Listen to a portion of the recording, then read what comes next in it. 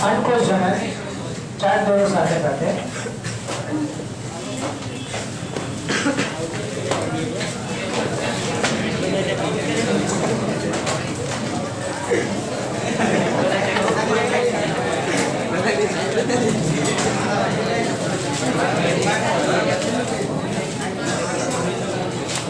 જે શુક્રજનક કોષનો ચાર્જ દોરો હતો એવો જ ચાર્જ પણ અલગ પણ અહીંયાથી તો એક જ તબક્કો આવશે.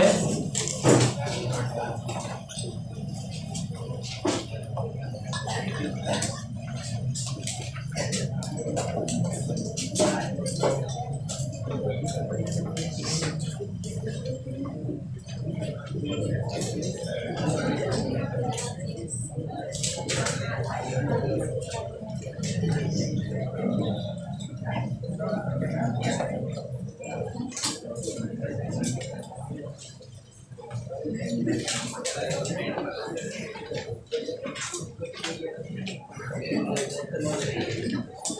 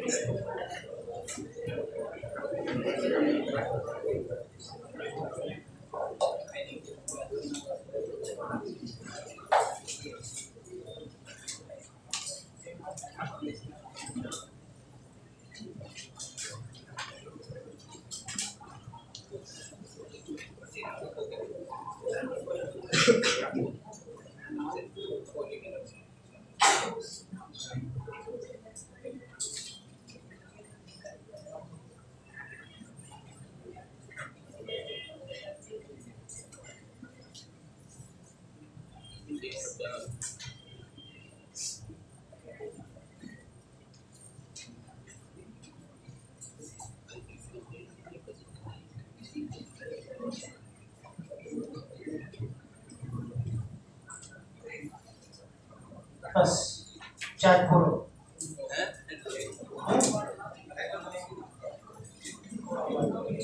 અહીંયા ખાલી બે ભાગ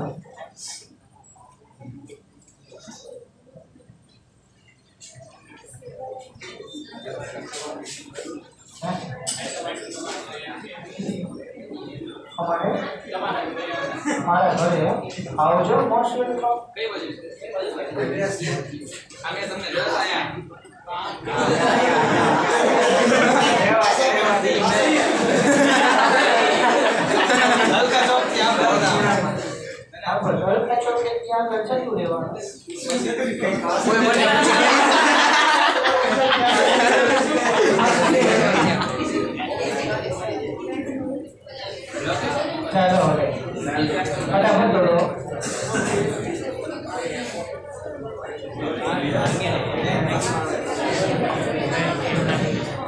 અચ્છા શુક્રકોષ ચરણના ત્રણ તબક્કા હતા ને? વિભાજન તબક્કો? વૃદ્ધિ તબક્કો. અને પછી? અહીંયા. યસ સાઈડમાં પણ એમાં બધા બે ભાગ જે પાડ્યા છે એવું નહીં. અહીંયા ત્રણ ભાગે પૂરું એટલે આ રહી ગયું. વિભાજન તબક્કો.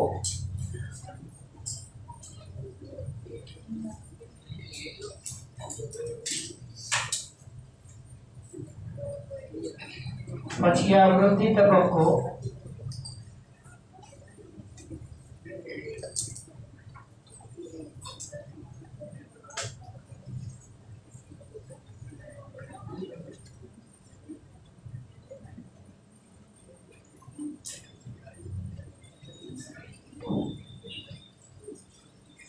પછી અહીંયા શું લખું?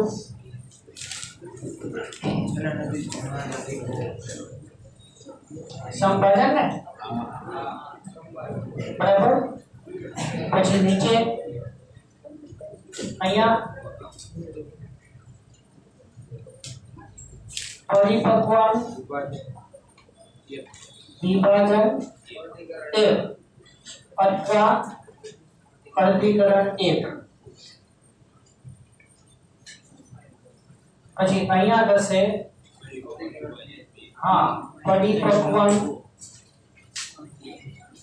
વિભાજન બે અથવા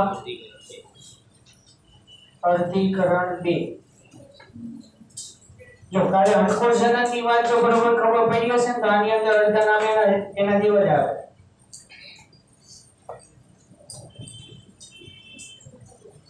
પણ થોડું સ્લાઇડ કરો.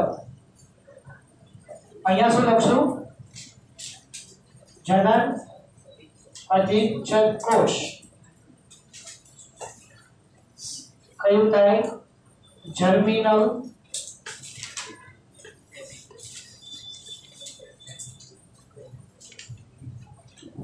એપિથેલિયમ બરાબર અહીંયા આવશે માતૃ અંડકોષ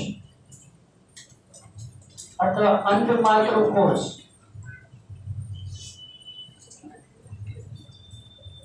માતૃ કોષ એને કહેવાય ઉગોનિયમ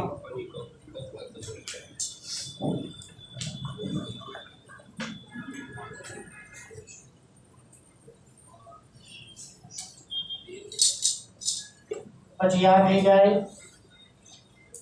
પ્રાથમિક પૂર્વ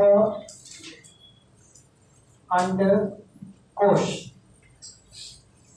પ્રાઇમરી oocyte અહીંયા આવે પ્રથમ ધ્રુવ કાય ફર્સ્ટ પોલાર બોડી એમાં વર્ણન આવશે. તેનું હવે આગળ વિભાજન થતું નથી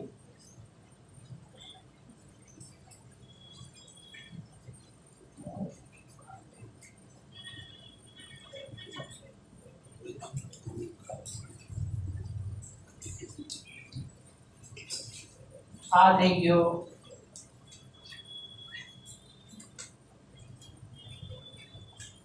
દ્વિતીય પૂર્વ અંડકોષ સેકન્ડરી oocyte અને આ થઈ ગયું પરિપક્વ અંડકોષ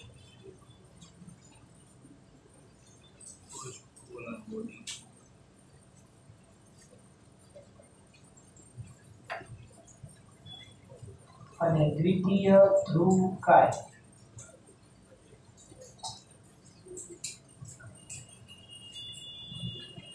second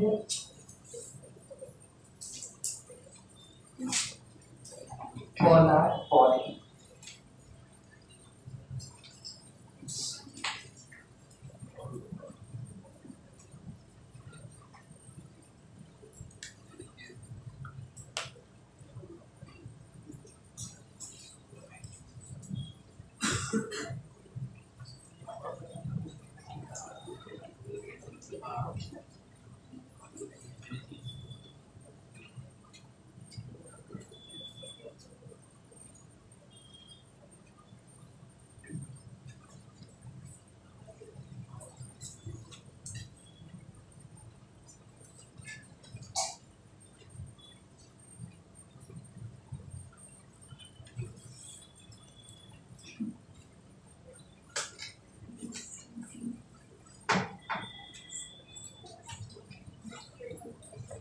second polar body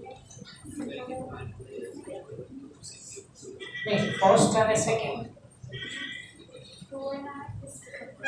ઈએનઆર નીચે દ્વિતીય વાળું હા ઈએનઆર છે આનો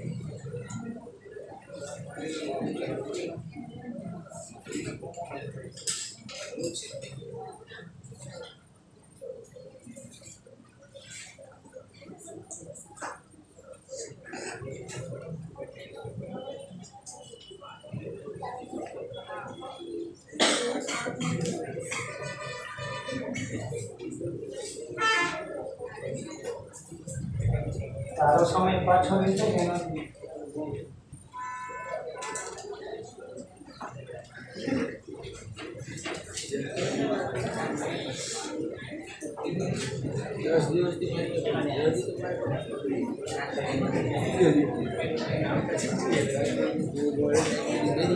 આ સમય ન આપતા તો ઘણા દિવસ લાગે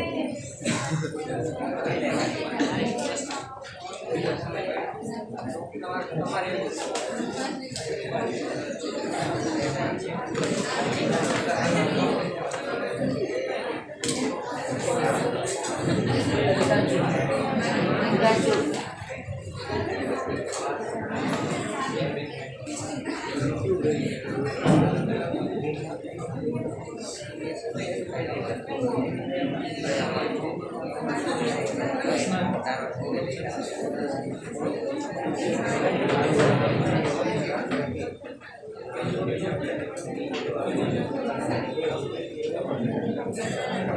આવો પટેલ હર્ષદ દસ લઈને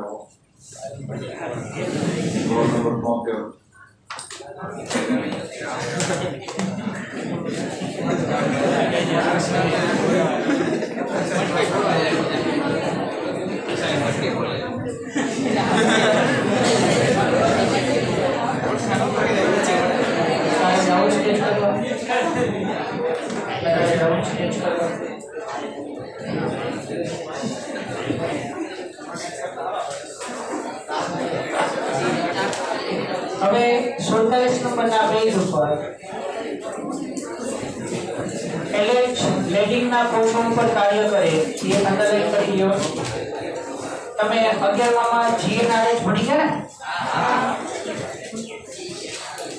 Gonadotropin releasing hormones.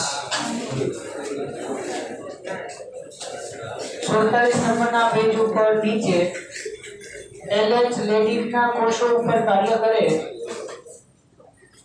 અને એફએસએચ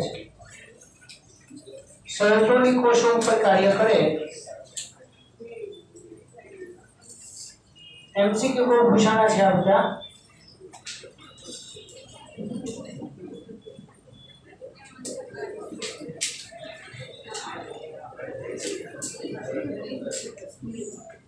હવે આની અંદર ઓલું શુક્રાગ્રસ એમાંથી બને ને એ બધી કોઈ વાતો અંદર કરેલી નથી એ જરા ધ્યાનમાં રાખજો કે શુક્રાગ્રહનું નિર્માણ ગોલ્ગી કઈમાંથી થાય.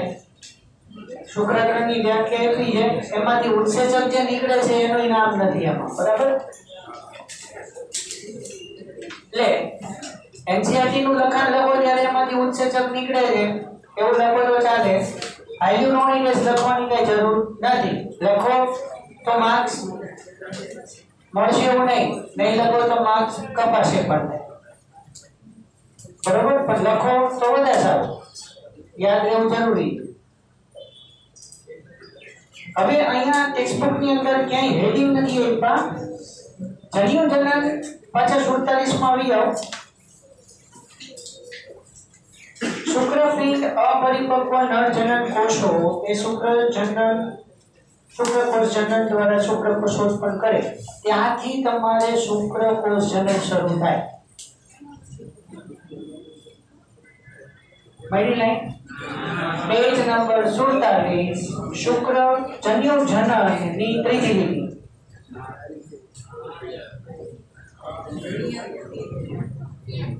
અપરિપક્વ નરજનન કોષો એ શુક્રકોષ જનન દ્વારા શુક્રકોષો ઉત્પન્ન કરે છે. ત્યાંથી શરૂ કરી ત્યાં સુધી? 48 નંબરના પેજ ઉપર શુક્રપિંડીય અંતસ્ત્રાવો એન્ડ્રોજન્સ દ્વારા થાય છે. ત્યાં સુધી. બીજો પેરેગ્રાફ છેલ્લી લીધી કારણ કે એના પછી પરિપક્વ માદા જનન કોષોના નિર્માણની ક્રિયાને અંડકોષ જનન કહેવાય. એટલે ત્યાંથી અંડકોષ જનનની શરૂઆત થાય. બરાબર? અને ટોપિક પતે ને ત્યાં સુધી.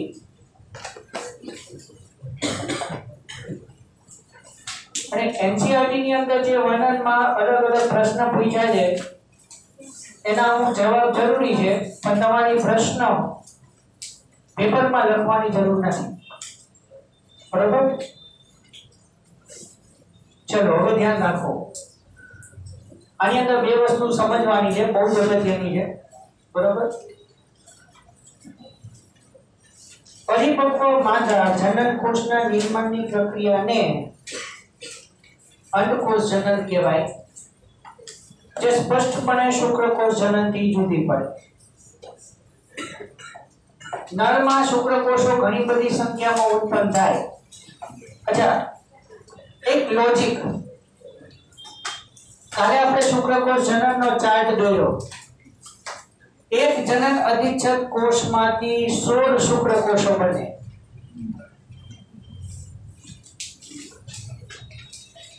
બરાબર?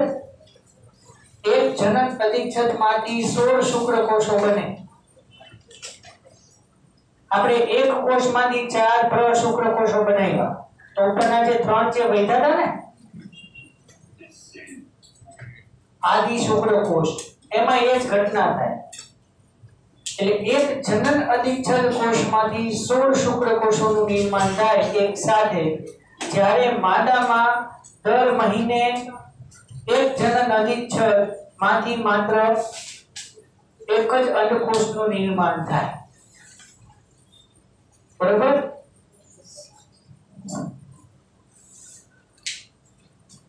અંડકોષ જનન ગર્ભ વિકાસ દરમિયાન શરૂ થાય એટલે માદા ગર્ભ સમજો ગર્ભ જો માદા હોય અને માતાના શરીરની અંદર માદા ગર્ભ જ્યારે વિકસતો હોય ત્યારે જ એનો વૃદ્ધિ વિકાસ શરૂ થઈ જાય. એટલે અંડકોષ જનન ગર્ભ વિકાસ દરમિયાન શરૂ થાય જ્યારે દરેક ગર્ભીય અંડપિંડમાંથી લાખો જનન માત્ર કોષો એટલે કે ઓગોનિયમ આદિ પૂર્વ અંડકોષ અથવા અંડમાતૃ કોષ ઉત્પન્ન થાય. ઉગોનિયા એટલે કે જ્યારે માતા ગર્ભ માતાના શરીરની અંદર વિકસિત થઈ રહ્યું છે, ત્યારે જ એટલે જો હવે આપણે બાજુના ચાર્ટમાં શું છે? ભ્રૂણીય જીવન. જો અહીંયા સુધી ભ્રૂણીય જીવન આપી દીધું છે, જો ચાર્ટમાં. બરાબર? ઓગણપચાસ પેજ ઉપર જમણી બાજુનો ચાર્ટ. એમાં બાજુ બે બાજુ બાજુમાં શુક્રકોષ જનન અંકોષ જનન બતાવ્યું છે તમને. એટલે લાખો જનન માતૃકોષો નિર્માણ પામે છે. જન્મ બાદ, એટલે કે માતા બાળકના જન્મ પછી આદિપૂર્વ અંડકોષ નિર્માણ પામતાય નથી કે ઉમેરાતાય નથી.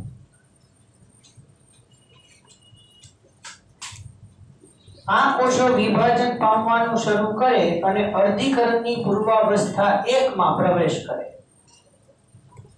એટલે હવે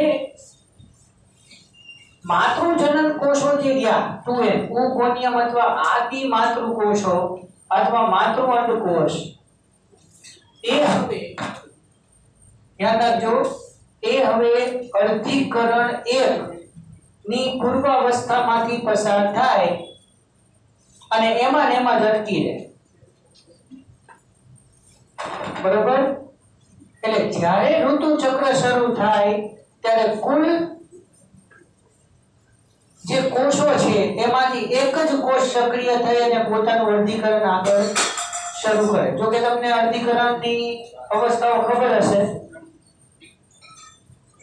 અર્ધીકરણ એક. એમાં પૂર્વ અવસ્થા એક ભાજના અવસ્થા એક ભાજનોત્તર અવસ્થા એક અને અંત્ય અવસ્થા એક. એમાં પૂર્વ અવસ્થા એકમાં લેપ્ટોટીન ઝાયગોટીન પેપીટીન ડિપ્લોટીન અને ડાયકાઇનેસિસ અને અર્ધીકરણ એક પૂરું થાય એટલે ઇન્ટરકાઇનેસિસ થાય, આંતરકોષ વિભાજન, પછી અર્ધીકરણ બે ચાલુ થાય. અર્ધીકરણ બે એટલે એક ઝેડ અને છેલ્લે કોષ રસ વિભાજન થાય સાયટોકાઇનેસિસ અને અંતમાં ચાર કોષો અસ્તિત્વમાં આવે. અર્ધીકરણની આ રીતે ઘટના થાય. અહીંયા એ જ વસ્તુ છે. એટલે અહીંયા આપણે જે પૂર્વાવસ્થા એકની અંદર જે કોષ પોતે અસ્તિત્વ ધરાવે બરોબર? એ ત્યાં ત્યાં જ પોતાનો વૃદ્ધિ વિકાસ સ્થગિત કરી દેશે. અને દર મહિને માત્ર એક જ અંડકોષ આગળ અર્ધીકરણ અવસ્થામાં પસાર થશે. અને ઘણા બધા પરિવર્તનો થાય છે. ધીમે ધીમે જોઈએ. હંગામી ધોરણે આ અવસ્થા સ્થાયી રહે છે. એને પ્રાથમિક પૂર્વ અંડકોષ કહેવાય. એટલે આમ આપણે જોઈ તો આ ભ્રૂણીય અવસ્થા થઈ ગયું. જનક અધિચ્છદ કોષથી વાત કરો તો ભ્રૂણીય અવસ્થા થઈ ગયું અને અહીંયા જે વૃદ્ધિ તબક્કો ગયો, ત્યાં શું લખવાનું? જન્મ પછી. બરાબર? પૂર્વાવસ્થા એકમાં વૃદ્ધિ સ્થગિત થઈ જાય અને દર મહિને જ્યારે ઋતુચક્ર શરૂ થાય, બરોબર? દર મહિને જ્યારે ઋતુચક્ર શરૂ થાય, ત્યારે કુલ પ્રાથમિક પૂર્વ અંડકોષો જે રહ્યા કે જે પૂર્વાવસ્થા એકની અંદર પોતે સ્થગિત થયેલા છે. એમાંથી માત્ર એક જ અંડકોષ પ્રાથમિક પૂર્વ અંડકોષ આગળ વિભાજન તબક્કામાં જશે. કન્ફ્યુઝડ ક્લિયર કરજો. શુક્રકોષ જનન જેવું સહેલું નથી આ. ફરીથી, જ્યારે માદા, ગર્ભ માતાના શરીરમાં વિકસતો હોય છે ત્યારે આ સમભાજન એટલે કે વિભાજન તબક્કો થઈ જાય બરોબર? અને એને કહેવાય માતૃ અંડકોષો અથવા આદિ અંડકોષો. બાળકના જન્મ પછી આ કોષો ઉમેરાતા પણ નથી કે વિભાજન પામતા પણ નથી. હવે આ જે આદિ અંડકોષ કે માતૃ અંડકોષ કે અંડમાતૃ કોષ જે કોઈ ઉગોનિયા, એ બાળકના જન્મ પછી, માતા બાળકના જન્મ પછી, એ કોષો પૂર્વાવસ્થા એકમાં જતા રહે અને ત્યાં પોતાની વૃદ્ધિ સ્થગિત કરી દે એને પ્રાથમિક પૂર્વ અંડકોષ કહેવાય. બરોબર? દરેક ઋતુ ચક્રમાં દર મહિને આ જ ઘટના થાય. પણ જો ફલન થાય તો જ આ ઘટના થશે. એટલે આગળ બહુ સરસ ઇમ્પોર્ટન્ટ પોઈન્ટ છે. બરોબર? એમાં બે વસ્તુ આવે છે. ધ્યાન રાખો.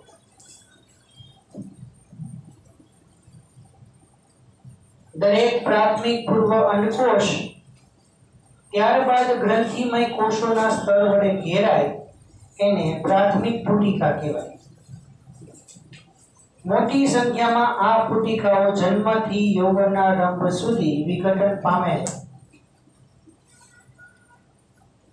એટલે અહીંયા પ્રાથમિક, પૂર્વ, અંકોશ ઘણા બધા બની ગયા હોય. અમે તમને કીધું હતું કે માદામાં પ્રજનન ગાળા દરમિયાન બંને અંડપિંડમાં ત્રણસો થી ચારસો અંડકોષો હોય.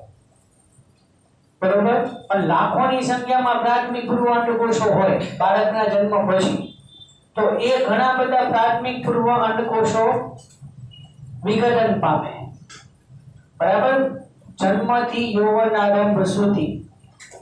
અને એમસીક્યુ આથી જ યૌવન આરંભમાં દરેક અંડપિંડમાં ફક્ત સાઠ હજારથી એસી હજાર પ્રાથમિક અંડપુટિકાઓ બાકી રહે. બાકીની ઘણી બધી પ્રાથમિક અંડપુટિકાઓ વિઘટન થઈને નાશ પામી હોય આ એક વાક્ય કોમન છે. પછી એમાં દ્વિતીય અને તૃતીય અને ચતુર્થક એવું બધું આપણે આગળ જવાનું છે. પ્રાથમિક પુટિકા ગ્રંથિય કોષો અને નવા ઘણા સ્તરોથી આવૃત થાય છે. એને દ્વિતીય પુટિકા કહેવાય. એટલે પ્રાથમિક પુટિકાની ફરતે સ્ત્રાવી કોષો વધુને વધુ ઘેરાય. એને કહેવાય દ્વિતીય પુટિકા હજી બાકીની કોમન દ્વિતીય પુટિકા તરત જ તૃતીય પુટિકામાં ફેરવાય. એ એન્ટમ કહેવાતી પ્રવાહી ભરેલી ગુહા ની અંદર આવેલું હોય એ એની લાક્ષણિકતા. એટલે દ્વિતીય પૂર્વ અંડકોષ તૃતીય પૂર્વ અંડકોષમાં ફેરવાય અને ઓગણપચાસમાં પેજ ઉપર ગુહા દર્શાવતી તૃતીય પુટિકા દેખાય છે. ઉપર આકૃતિમાં ત્યાં જે પીળો ભાગ છે ને, એને એન્ટ્રમ કહેવાય. મળ્યું? અંડપિંડનો આડો છે. એમાં સૌથી ઉપર જ છે પેજમાં ગુહા દર્શાવેલી તૃતીય કૃતિકા એટલે ત્યાં એન્થમ દેખાય.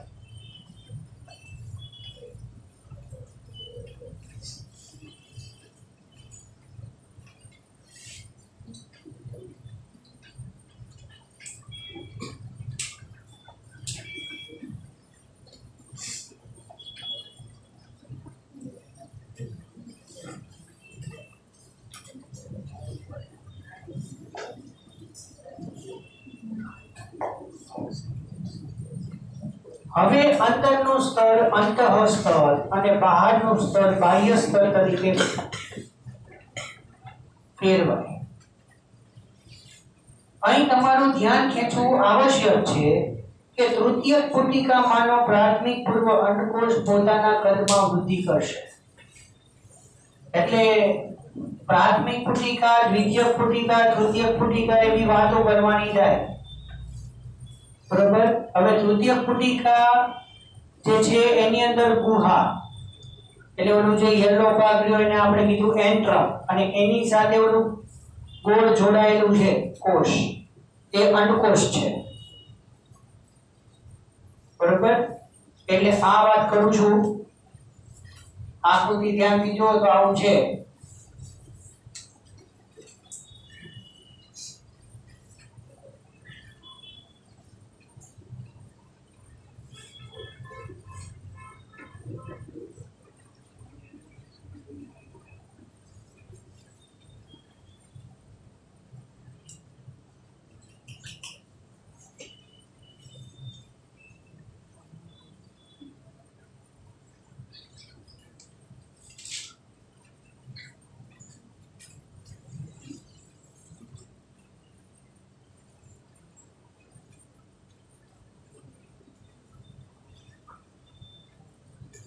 છે આવું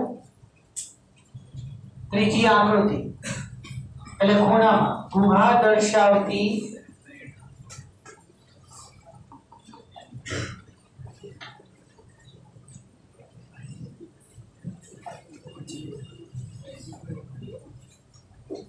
તૃતીય ભૂતિકા. બરોબર? એટલે આ જે પોલાદ એને કહેવાય એન્ટ્રમ બરોબર? અને આ જે રહ્યો એ પ્રાથમિક, પૂર્વ અંડકોશ શોર્ટકટ નહીં કરતા, હા?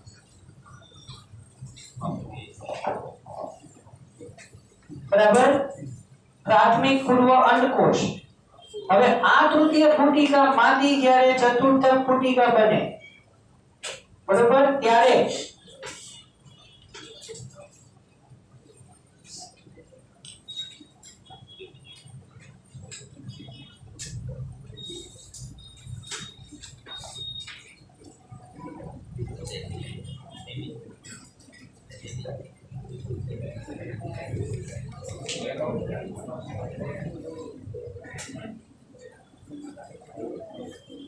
હવે આ દોરું છું ચતુર્થ ફૂટિકા અથવા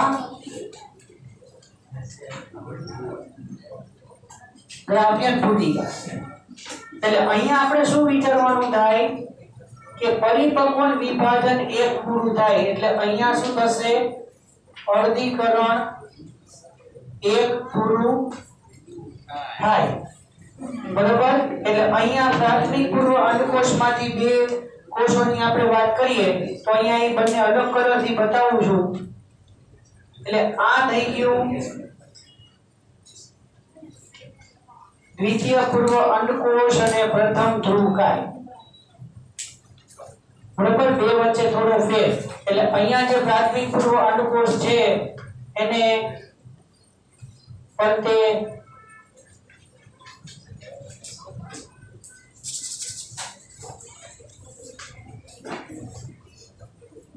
બરોબર એટલે અર્ધીકરણ એક થઈ ગયું. એટલે આ થઈ ગયું. દ્વિતીય પૂર્વ અંડકોષ. અને આ થઈ ગયું. પ્રાથમિક ધ્રુવ કાય પ્રથમ ધ્રુવકાયનું આગળ હવે વિભાજન થતું નથી. બરોબર? તમને એમ થાય કે સર પ્રથમ ધ્રુવકાયની અંદર જે શું? પ્રથમ ધ્રુવકાયની અંદર વધારાના રંગસૂત્રો છે. જે રંગસૂત્રોને અંદર ફલનની ઘટનામાં ભાગ લેવાનું નથી, એ વધારાના રંગસૂત્ર પ્રથમ ધ્રુવકાયની અંદર જશે અને પછી એનું વિઘટન થઈ જશે. બરોબર? અને સૌથી અગત્યની વાત,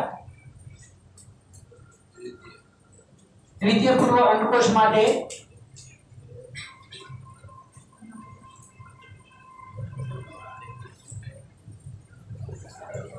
ઋતુચક્રના ચૌદમા દિવસે આ કોષ અંડપતનથી મુક્ત થાય. સાંભળજો. બરાબર? અત્યાર સુધી તમે એવું વિચારતા હશો કે દરેક ઋતુચક્રના ચૌદમા દિવસે અંડકોષ મુક્ત થાય. હવે એકદમ સત્ય, હકીકત. દરેક ઋતુચક્રના ચૌદમા દિવસે દ્વિતીય પૂર્વ અંડકોષ મુક્ત થાય. પણ આ દ્વિતીય પૂર્વ અંડકોષની અંદર ભલે આપણને 23 નવસૂત્ર લાગતા હોય. બરાબર? પણ હકીકતમાં એમાં 46 નવસૂત્ર હોય છે. અર્ધીકરણની વાત જો તમને કહું, તો અર્ધીકરણમાં આપણે એમ કહીએ કે ઓરિજિનલ કોષમાં છેતાલીસ સૂત્ર છે. 23 જોડ.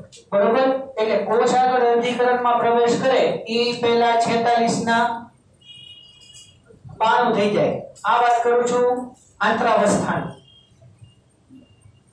એટલે ધારો કે આપણે મુખ્ય કોષની અંદર 46 રંગસૂત્ર છે, અર્ધીકરણ સમજાવું છું એટલે ઓરિજિનલ કોષની અંદર 46 રંગસૂત્ર છે, તો એ કોષ આંતરાવસ્થાની અંદર જ્યારે પસાર થાય, ત્યારે એસ તબક્કો એમાં 46 રંગસૂત્ર થઈ જાય છે. 92 પછી અર્ધીકરણ 1 ની અંદર તમને ખ્યાલ હોય તો અર્ધીકરણ 1 માં ભાજનોત્તર અવસ્થા 1 એમાં આપણે એક વાક્ય યાદ રાખવાનું હતું કે સેન્ટ્રોમિયરનું વિભાજન અહીંયા થતું નથી. આખે આખા સ્વતંત્ર રંગસૂત્રની જોડી ધ્રુવ તરફ ખસેડાય છે જ્યારે ભાજનોત્તર અવસ્થા બે. એની અંદર સેન્ટ્રોમિયરનું વિભાજન થાય અને રંગસૂત્ર પછી અડધા અડધા વહેંચ વહેંચાઈ જાય. આ કોન્સેપ્ટ ખ્યાલ છે? અર્ધીકરણ એકમાં બારોના છેતાલીસ થયા. આપણે ગણી છી ત્રેવીસ. પછી છેતાલીસ ના અડધા અડધા થઈને ત્રેવીસ થાય છે. બરાબર? એટલે આ થઈ ગયું અર્ધીકરણ બે.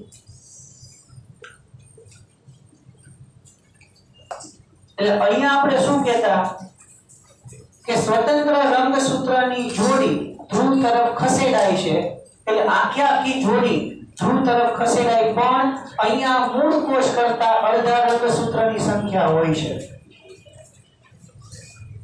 અને અહીંયા સેન્ટ્રોમિયરનું વિભાજન થાય. એટલે અહીંયા હકીકતમાં ભલે કહેવાનું તો એ છે કે દ્વિતીય પૂર્વ અંડકોષની અંદર 23 જોડ, સોરી 23 રંગસૂત્ર હોય. પણ હકીકતમાં એમાં છેતાલીસ રંગ સૂત્ર છે. બરાબર? આ એક પ્રશ્ન આપણને પૂછેલો છે. હવે આ દ્વિતીય પૂર્વ અંડકોષની અંદર ત્રેવીસ રંગ સૂત્ર છે. એ અંડકોષ ઋતુચક્રમાં મુક્ત થયો. જો ફલન થાય, તો જ અર્ધીકરણ બે થશે. એટલે આ જે આખી વાત રહી.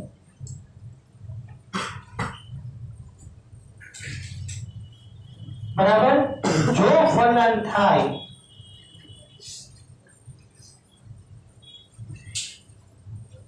પોચ જ બે થાય. નહીતર નહીં. બરાબર? જો ફલન ન થાય તો દ્વિતીય પૂર્વ અંતકોષ એમના અફલિત જ રહેશે અને એના પછીના ઋતુચક્રની અંદર દ્વિતીય પૂર્વ અંતકોષ શરીરની બહાર મુક્ત કરી દેવામાં આવશે કે જેને ફલન ક્ષમતા ગુમાવી દીધી છે. પછી નવા ઋતુ ચક્રની અંદર પાછું 6 થી 13 દિવસ દરમિયાન નવો પ્રાથમિક પૂર્વ અંડકોષ સક્રિય થઈ અર્ધીકરણ એકમાં જઈ અને નવો દ્વિતીય પૂર્વ અંડકોષ બનાવશે કે જે અંડકોષ મુક્ત કરશે. તો અહીંયા જે તૃતીય ફૂટિકા જે રહી તૃતીયક ફૂટિકા જે ચતુર્થ ફૂટિકા અથવા ગ્રાફ્યન ફૂટિકામાં ફેરવાય, તો અહીંયા દ્વિતીય પૂર્વ અંડકોષ અને પ્રાથમિક ધ્રુવકાય બને. તો આ પ્રથમ ધ્રુવકાય. વધારાના રંગસૂત્રો ધરાવે કે જેનું હવે વિઘટન થઈ જશે. આ દ્વિતીય ધ્રુવકાયની અંદર એ જ વાત છે કે દ્વિતીય ધ્રુવકાય પણ વધારાના રંગસૂત્ર ધરાવશે કે જેની ફલકમાં કોઈ જરૂરિયાત નથી. બરોબર? હકીકતમાં ફલનના સમયે જે રંગસૂત્રોને આગળ ગર્ભમાં ટ્રાન્સફર થવા દેવાના છે તે નીચે પરિપક્વ અંકોશની અંદર આવશે. તો આ રીતે એક જનરલ અધિક્ષણ કોષમાંથી માત્ર એક જ અંડકોષનું નિર્માણ થાય. એ ખ્યાલ આવશે.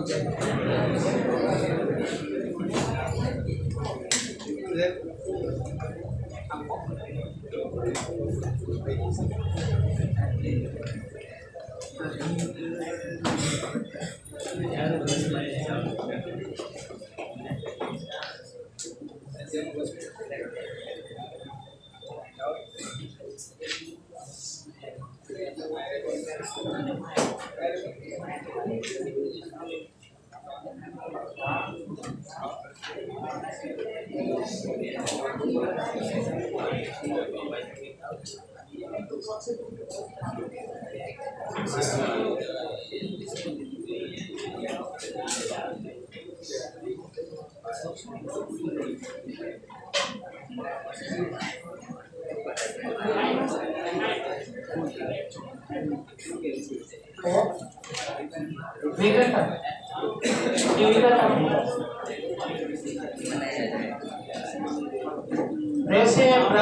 પ્રાથમિક వాళ్ళ కోసం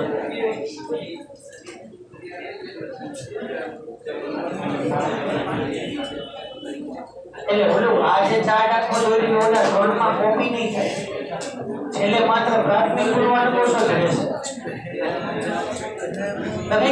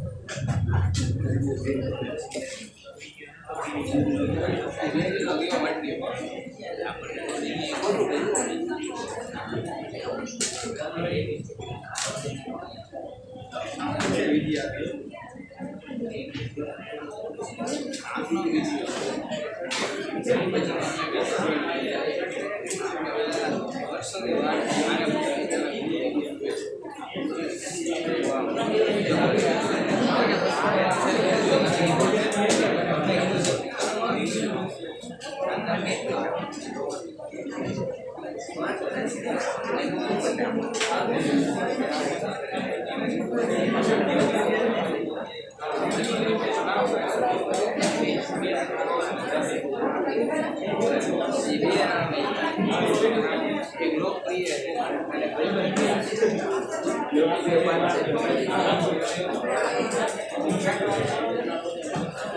દોરો